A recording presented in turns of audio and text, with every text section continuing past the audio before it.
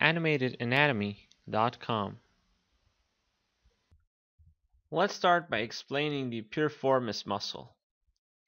The piriformis muscle has the origin on the sacrum. This is this bone here. You can see it. The origin comes from the sacrum. Now the insertion of the piriformis muscle is the greater trochanter. Okay, now the piriformis muscle is innervated by the nerve, the piriformis, and it comes from the S1 and S2 nerve roots. The function is clear because it belongs to the lateral uh, rotator group and it serves for the lateral rotation of the type. Now we have the obturator externus muscle. The obturator externus muscle has the origin on the obturator foramen, right here. It also has the origin on the obturator membrane. It is the membrane on this foramen. The insertion of this muscle, however, is the greater trochanter of the femur, and more precisely the medial aspect of this greater trochanter. If you remember, I have talked about it, and here is the greater trochanter, so it comes on the medial aspect of the greater trochanter.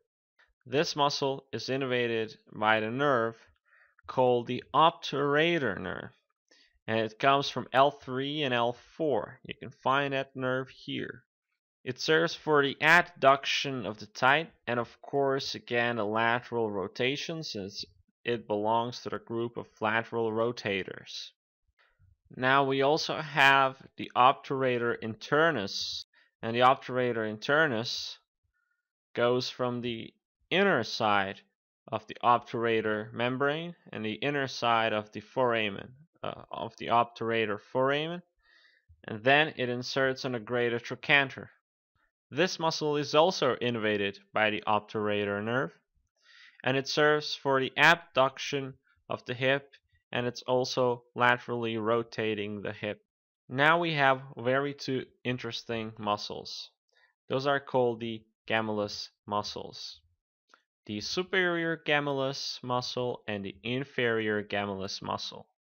The inferior one has the origin on the ischial tuberosity.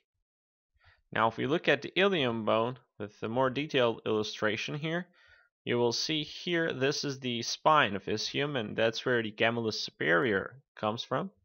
And then here on the ischial tuberosity you have the gemellus inferior origin. Now those two muscles both have the insertion on the obturator internus. So they join here and they insert basically on this muscle. They have the function of lateral rotation of the hip. There is also one more muscle here and that is the quadratus muscle.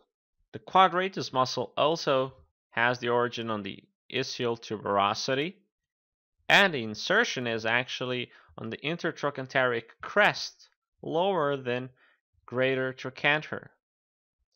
If you look at it here, you will see the intertrochanteric crest, and that's where it inserts. We have the tuberosity ischium and the intertrochanteric crest, so the muscle goes this way.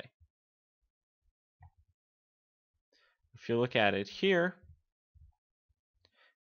and that's this muscle here.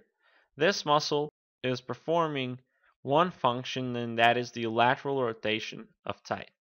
Now I will talk about the tite muscles and I will start by explaining the anterior compartment. Hello everyone, I developed Animated Anatomy that you can purchase on animatedanatomy.com. I put them links down there in the description or you can click on a link here in a video.